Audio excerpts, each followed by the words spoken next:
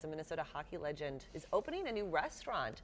Former North Star Lou Nanne plans to open a steakhouse in Edina. That's a good place to take dad for Father's Day. Yes. That's according to the Minneapolis St. Paul Business Journal.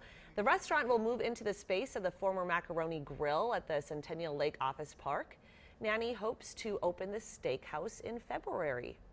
Of course, he has his restaurant in St. Paul, right near the Xcel Energy Center, so it makes sense. Nanny's, the steakhouse. I like it. Well, we are already know that the